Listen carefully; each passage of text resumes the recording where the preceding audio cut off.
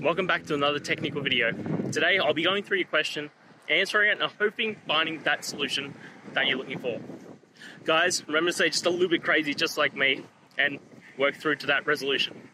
Now let's continue on.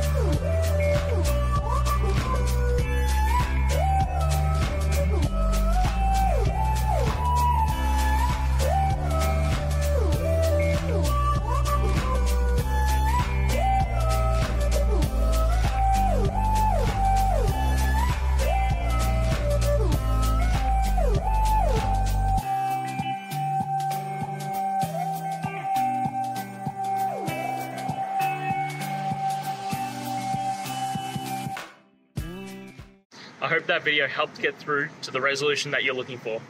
If it did, please hit subscribe. I really appreciate it. And until next time, I hope you have a great one. Cheers.